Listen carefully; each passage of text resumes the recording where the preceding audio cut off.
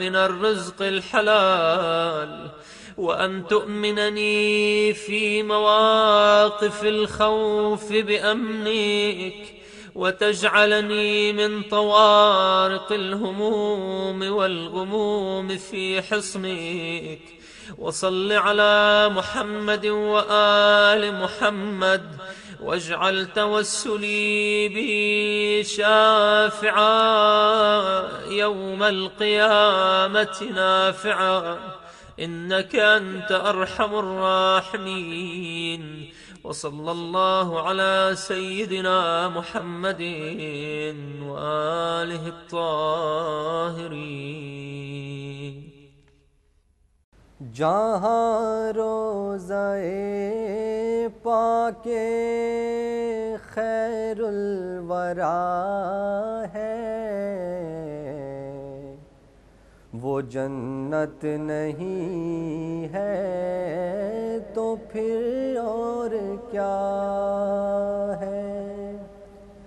जहाँ रोज़ाए पाके खैर वरा है, वो जन्नत नहीं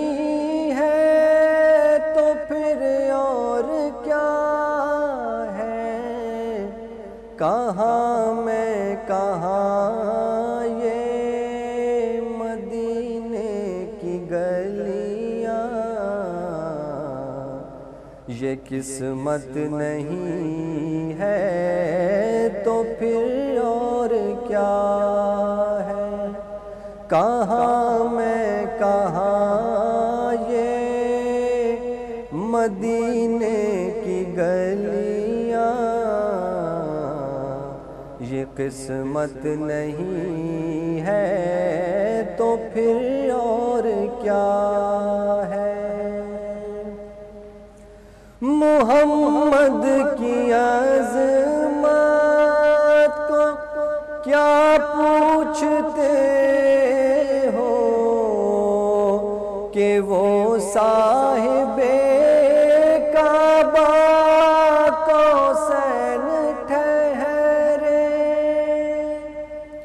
मोहम्मद की अजमत को क्या पूछते कि वो साहिब काबा को सैन ठहरे। बशर की सरे अरशे में मानवाजी। ये अजमत नहीं है तो फिर और क्या? बशर की सरे अरशे, में मानवाजी। ये अजमत नहीं है तो फिर और क्या है? जो आसी को कमली, में अपनी छुपा दुश्मन को भी जख्म खा कर दुआ दे। जो आसी को कमली में अपनी छुपा ले। जो दुश्मन को भी जख्म खा कर दुआ उसे और क्या नाम देगा जमाना?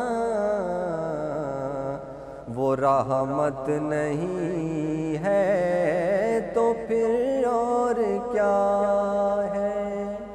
उसे और क्या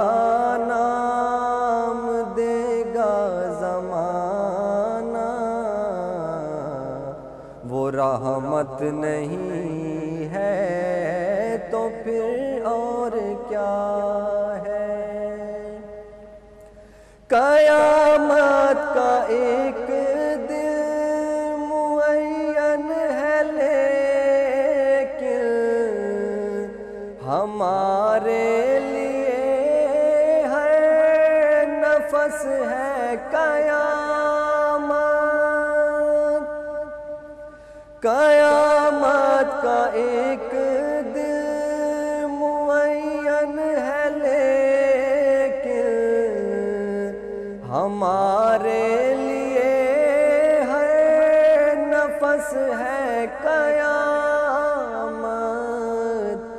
मदीने से हम जान सारों की दूरी। कयामत नहीं है तो फिर और क्या है? मदीने से हम जान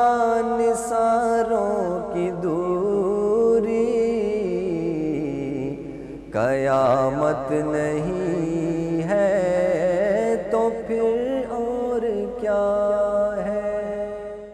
जी नाजिन प्रोग्राम के इस दूसरे हिस्से में आपको खुश आमदीद कहते हैं और इस वक्त हमारे पास टाइम हुआ हिदायत की बात का और हिदायत की बात हम शुरू करते हैं। नमाज़ की टाइमिंग अपडेट करवाते हैं जो आज जहरैन होगी एक बज के पाँच मिनट पे और मगरबैन अंजाम पाएगी आठ बज के बयालीस मिनट पे और कल फजर इंशाल्लाह होगी तीन बज के अट्ठावन मिनट थ्री फिफ्टी एट पर। उम्मीद है कि आपने नमाज़ की टाइमिंग जो है वो नोट फरमा ली होंगी और उसके बाद हम चलेंगे। अखवाल मासूमिन पर और शुरू करेंगे ख़ातमुलमरसलीन रसूल खुदा, हबीब खुदा, हज़रत मोहम्मद मुस्तफ़ा सल्लल्लाहु अलैहि की ज़ात गिरामी पर कि हुज़ैफ़ा बिन ईमान कहते हैं कि हम रसूल खुदा सल्लल्लाहु अलैहि वसल्लम के साथ थे कि हम अचानक हमने शहज़ाद इमाम हसन अलैहिस्सलाम को देखा कि आप बड़े पुरवकार अंदाज में हमारी तरफ़ आ रहे हैं। नबी करीम सल्लल्लाहु अलैहि वसल्लम ने अपने नवासे को आते हुए देख कर फरमाया कि जबरील हसन के रहनुमा हैं, मिकाइल इसके मुहाफ़ हैं और यह मेरा तैयब ताहिर, बेटा मेरे जिसम का टुकड़ा, मेरी आँखों की ठंडक, मेरे बाप इस पर फ़िदा हो जाएँ। इसके बाद पैगंबर अक्रम सल्लल्लाहु अलैहि वसल्लम अपनी जगह से उठ खड़े हुए, जिस पर हम भी साथ में उठ खड़े हुए, हम सब इमाम हसन, शहज़ादा इमाम हसन अलैहिस्सलाम के इस्तकबाल के लिए आगे बढ़े। पैगंबर अक्रम सल्लल्लाहु अलैहि वसल्लम ने आपका, आपसे मुखातिब होकर फरमाया, बेटा हसन तो मेरे मेवे दिल तो मेरा मेवे दिल, मेरा प्यारा, मेरे दिल का चैन है। इसके बाद आप सल्लल्लाहु अलैहि वसल्लम इमाम हसन मुशतबा, अरवाहन अलफ़िदा के चेहरे की तरफ़ देखते हुए फरमाते हैं कि करीब मेरे बाद हसन लोगों का रहनुमा व रहबर होगा। और मेरे बा, और मेरे लिए परवरदिगार आलम का ख़ास तोहफ़ा है। ये लोगों तक मेरा पैगाम और मेरे आसार को पहुँचाएगा। मेरी सुन्नत को ज़िंदा करेगा और अपने किरदार से मेरे तसव्वुर को पेश करेगा। अल्लाह ताला इस पर नज़र रहमत फरमाएगा। जो इसकी मार्फत रखेगा और इसके साथ नेकी करे, मेरे साथ नेकी करेगा और इसका एहतराम, यानी मेरा एहतराम करेगा। अभी बात ख़त्म नहीं हुई थी कि हमने देखा कि एक अरब बद्दू अपने असा को ज़मीन पर मारता हुआ हमारी तरफ़ आ रहा है। पैगंबर अकरम सल्लल्लाहु अलैहि वसल्लम ने फरमाया, ये शख्स हमारी तरफ़ आ रहा है और ऐसी नाजेबा गुफ्तगु करेगा कि रोंगटे खड़े हो जाएँगे, फिर ऐसे सवाल करेगा जिससे तोहन का पहलू निकलेगा। वो शख्स आया और इसने पूछा कि आप में से मोहम्मद कौन है? मैं यहाँ पर आपके अल्फाज इस्तेमाल कर रहा हूँ, उसके अल्फाज इस्तेमाल नहीं कर रहा। तो उसने पूछा कि आप में से मोहम्मद कौन है? साहबा ने फरमाया, तुम्हें इनसे क्या काम है? इतने में नबी पाक गोया हुए और फरमाया ए अरब बद्दू से फरमाया कि आराम से और तसल्ली से बात करो, बात क्या है? पैगंबर अक्रम ने यह कहकर इसे समझा दिया कि मोहम्मद मैं ही हूँ। अरब बद्दू ने बड़े गुस्ताखाना अंदाज में कहा कि मुझे आपको देखने से पहले ही आ, मैं आपका दुश्मन था। और अब मेरी दुश्मनी में मज़ीद जो है वो इजाफ़ा हो गया ये सुनकर हमने चाहा कि इसे तंबी करें। लेकिन पैगंबर अकरम सल्लल्लाहु अलैहि वसल्लम मुस्कुराए और हमें मना फरमाते हुए खामोश रहने की ताकीद की। इस अरब बद्दू ने कहा ए मोहम्मद आप गुमान करते हैं कि आप अल्लाह के नबी हैं, हालाँकि आप दूसरे पैगम्बरों पर नाउज़बिल्ला जो है वो बहुतान बांधते हैं और तो और आपके पास अपनी नबूत की क्या दलील और क्या बुरहान है। ये सुनकर पैगंबर अकरम सल्लल्लाहु अलैहि वसल्लम ने फरमाया, अगर तुम चाहते हो तो मेरे जिस्म का एक उज़ू, उज़, एक टुकड़ा मेरी रसालत की दलील बताए। अरब बद्दू ने कहा, क्या आज़ा भी बोल सकते हैं? इसके बाद नबी करीम सल्लल्लाहु अलैहि वसल्लम ने फरमाया, इमाम हसन अरवान अलफ़िदा की तरफ़ देख के फरमाया, उठो। बद्दू ने इमाम हसन अलैहिस्सलाम की तरफ़ देखा और कहा कि ये बच्चा मेरे साथ क्या गुफ्तु करेगा? इस पर आपने फरमाया, अभी तुम्हें पता चल जाएगा। इस पर इमाम हसन अलैहिस्सलाम ने कुछ अशार पढ़े और फरमाया कि तूने ज़बान दराजी की और अपनी हद से खारिज हुआ, तजावुज़ किया और ख़ुद को फ़रेब दिया, लेकिन उम्मीद है कि तू जल्द मुसलमान हो जाएगा। ये सुनना था कि अरब बद्दू ने कहा कि देखो और इसको देख, कहा इसको देखो और सात तमस्कारान अंदाज में मुस्कुराया। इमाम हसन अलैहिस्सलाम ने फरमाया, तू अपने बुत परस्त साथियों के साथ बैठा हुआ था कि पैगंबर अक्रम, पैगंबर इस्लाम अलैहि वसल्लम के मुतालिक गुस्ताखाना गुफ्तु कर रहा था। और ये कह रहा था कि तमाम अरब जनाब मोहम्मद अलैहि वसल्लम के दुश्मन है, अगर इन्हें कत्ल कर दिया जाए तो कोई इनके खून का बदला लेने वाला नहीं होगा। और तूने सोचा कि अगर मैं कत्ल कर दूँ तो तो कौम मेरे माश का बंदोबस्त कर देगी, इसलिए असला साथ लेकर आया। लेकिन तू उस वक़्त सख्त मुश्किल में घिर गया, और मैं ये भी बता सकता हूँ कि तू कहाँ कहाँ से सफ़र करता रहा। तुम एक अंधेरी रात और तूफ़ानी रात में बेआबा में फंस गए थे, और आगे बढ़ते तो कत्ल हो जाते और पीछे हटते तो भी हलाक हो जाते। तो तुम इस तरह तारीकी के घुप अंधेरों में हैरान और परेशान थे। नागाह तुमने आँखें खोली तो यहाँ हमारे पास आ गए और अब आराम और चैन महसूस हुआ। अभी कहता है कि, बेटा, तुम ये बातें कहाँ से कर रहे हो? मुझे तो ऐसा लगता है कि पूरे सफ़र में, जहाँ जहाँ भी मैं गया हूँ, तुम मेरे साथ हो, मेरे पोशीदा अमूर से वाकिफ़ हो। क्या तुम इल्म गैब रखते हो? इमाम हसन सलाम ने इसकी, पर इसकी बातों का इमाम हसन सलाम की बातों का इसके ऊपर बहुत गहरा असर हुआ और पूछने लगा कि इस्लाम क्या है। आपने फरमाया, तकबीर और गवाही और अल्लाह के सिवा कोई मबूद नहीं और ये कि मोहम्मद अल्लाह के बंदे और रसूल हैं। इस पर वो मुसलमान हो गया और पैगंबर इस्लाम सल्लल्लाहु अलैहि वसल्लम से इसने कुरान मजीद की चंद आयात की तालीम हासिल की और वो अपनी कौम कबीले की तरफ़ गया और आयात की रोशनी में तबलीग इस्लाम की और जिस पर उसकी कौम के दूसरे लोग भी मुसलमान हुए। आपने देखा कि किस तरह से जो है वो ख़ानदान रसालत की अज़मत जो है वो मुख्तलिफ़ जगहों पर बल्कि हर दिन जो कि रसालत माँ की ज़िंदगी का दिन था, हर दिन उसमें वो ज़्यादा से ज़्यादा होती चली जाती थी, चाहे उसमें किसी सिंध के अफराद क्यों ना हो, क्योंकि नबी करीम सल्लल्लाहु अलैहि ने फरमाया, अव्वलना मोहम्मद व औसतना मोहम्मद व आखरना मोहम्मद व कुल्लना मोहम्मद। हम सब मोहम्मद हैं, हमें कोई छोटा और बड़ा नहीं है। जिससे भी कोई कलाम करेगा, वो रसालत की गवाही देगा, वो खुदा की जो तोहद है, उसके ऊपर मुदल दलाइल दे सकता है। एक और जगह पर हज़रत अमीर अमीरमिन आसमाम फरमाते हैं, लोगों, इस अल्लाह से डरो। लोगों, इस अल्लाह से डरो कि अगर तुम कुछ कहो तो वो सुनता है और दिल में छुपा कर रखो तो जान लेता है। इस मौत की तरफ़ बढ़ने का सामान करो, जिससे अगर भागोगे तो वो तुम्हें पा लेगी और अगर ठहरोगे तो वो तुम्हें गिरफ्त में गिरफ्त में जकड़ लेगी। और अगर तुम इसे भूल भी जाओ तो वो तुम्हें याद रखेगी। आप देखें कि किस तरह से बार बार हज़रत इंसान को नसीहतें की जाती हैं।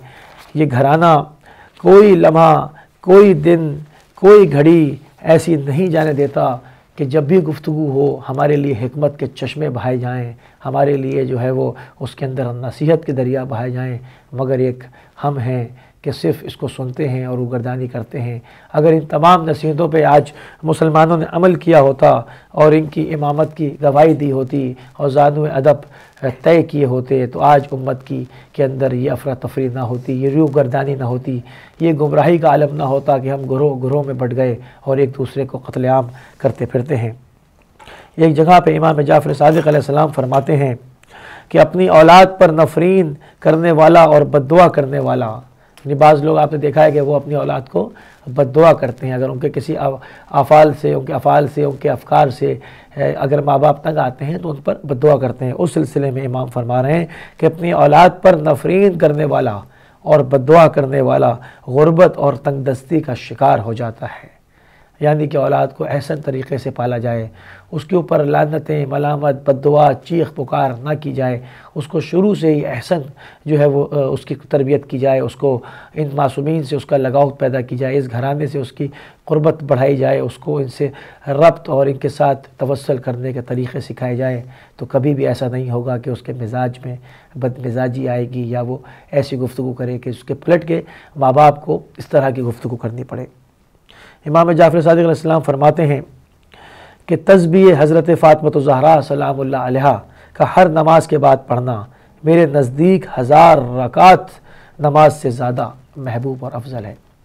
जब जनाब फ़ातम ज़हरा सलाम नबी करीम के पास तशरीफ़ लाई और जो है वो एक खादमा का, एक काम करने वाली का तकाजा किया तो नबी करीम ने फरमाया, ए फ़ातिमा, मैं तुमको ऐसी चीज़ न बता दूँ कि तुम इन तब तमाम चीज़ों से बेनियाज हो जाओ, तुम्हें किसी की ज़रूरत ही ना पड़े। तो शाहजादी ने फरमाया क्यों नहीं?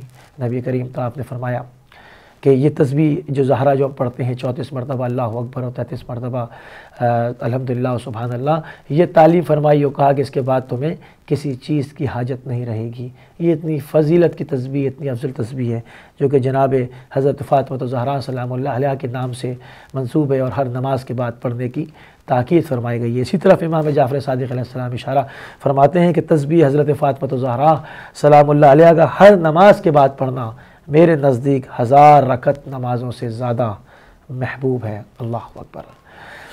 एक आखिरी कौल जो कि मौला अमीर से वो पढ़ के इस सेगमेंट का अख्ताम करूँगा।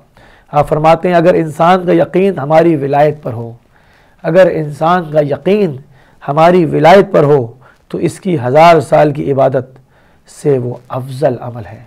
अल्लाह अकबर। हम देखते हैं कि गुज्त उम्मतों में लोगों की जो उम्रें हैं बहुत ज़्यादा हुआ करती थी। कई कई सौ साल हज़ार हज़ार साल कई कई हज़ार साल की लोगों को उम्रें हुआ करती थी। अब उम्र घट के औसत उम्र बहुत कम रह गई है। साठ सत्तर अस्सी नब्बे सौ बहुत से बहुत। इसमें ही इंसान इस, इस दुनिया से इस दार फ़ानी से कूच कर जाता है। तो बाज़ जगहों पर मासूमिन के सामने पैगंबर अकरम के सामने सवाल हुआ, लोगों ने सवाल रखा कि मौला इससे पहले तो इतनी उम्रें होती थी, वो बहुत ज़्यादा अमाल किया करते थे, सवाब कमाया करते थे। हमारी तो उम्र इतनी कम है तो उसके लिए बाज़ जगहों पर अमाल बताए गए और ये भी उन्हीं अमाल में से एक चीज़ है कि इशारा फरमाया जा रहा है कि हमारी विलायत का यकीन जो है वो हज़ार साल की इबादतों से अफजल है। यानी बहुत ताकीद फरमाई गई है, क्योंकि ये एक पूरा सिस्टम है। हम समझते हैं कि सिर्फ़ खाली विलायती गवाही दे देना काफ़ी है, ऐसा नहीं है। हालाँकि विलायत एक पूरा सिस्टम है, वो ये वो इलाही निज़ाम है, जो कि उम्मत के लिए, जो पूरी आलम इंसानियत के लिए खुदा ने मुरतब फरमाया। बार अगरचे अभी इसको जो है वो ज़हूर से कबल लोगों ने इसके अंदर फितना पैदा किया, इसको नहीं माना और इस राह से हट गए, मगर कुरान का वादा है कि वो मुस्तफ़ीन को क़वत अता फ़रमाएगा, उनको जिनसे ताकत छीन ली गई थी, उनको ताकत लौटाएगा और पूरी अदियान के ऊपर इस दीन को गालिब कर देगा और तमाम पूरी दुनिया पर जो है वो इस्लाम के झंडे को लहराएगा। तो यानी यानी मोहब्बत के झंडे को लहराएगा, यानी अमन के झंडे को लहराएगा। जहाँ जहाँ पर भी जुल्म हो रहा होगा, उसके ऊपर अमन और आष्टी जो है वो गालिब आ जाएगी, जुल्म काफूर हो जाएगा, जुल्म मिट जाएगा, उसके आसार महू हो जाएँगे। यानी इस तरह से इंसानियत को वो दमाम बख्शेगा ये उसका वादा है। तो नाजरीन, हमने जो है कुछ कौल और कुछ वाक़ात एक वाक़ और कुछ कौल आपके सामने पेश करने की, आज सादत हासिल की और परवरदिगार की बारगाह में दुआ गो हैं कि इन तमाम हिकायतों पर, इन तमाम हमतों पर, इन तमाम बेहतरीन रास्तों पर हमें भी अमल करने की तोफ़ी इनायत फरमाए और आपको भी, ताकि हमारी ज़िंदगियों में और हमारे माशरे में एक बेहतरीन तब्दीली ईजाद हो सके। चलते हैं सिस्टर, शहर की तरफ़। जी, शुक्रिया अली भाई। आपने बहुत ही जो है काम के हमें अकवाल बताए और अल्लाह ताला हमें तोफ़ी कता फरमाए कि हम इन पर अमल करके अपनी ज़िंदगियों को जो है वो मोहम्मद और आल मोहम्मद की ज़िंदगियों के मुताबिक ढाल सकें। जाना होगा हम एक छोटे से ब्रेक पर और ब्रेक के बाद वापस आएँगे तो अपने प्रोग्राम को जारी रखेंगे और आपके साथ गुफ्तु का सिलसिला भी जारी रखेंगे।